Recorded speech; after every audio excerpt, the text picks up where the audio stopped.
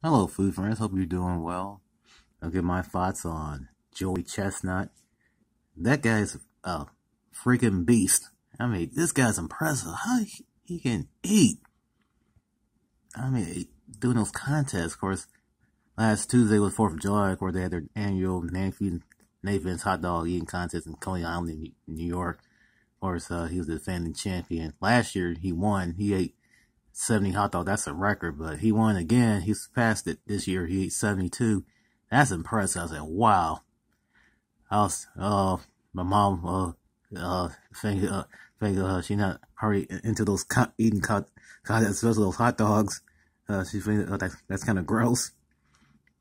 I, I kind of feel the same way too, but I still feel that's, that's impressive. So, Joey Chestnut, much, much, much respect to that, that, to him if you don't like those kind of contests, uh, they're not for you. But if, if you're a fan, those contests, especially a fan of him, that's impressive. So, like I said, Joey Chestnut, that that is impressive. So that's that's that's my thoughts. Take care.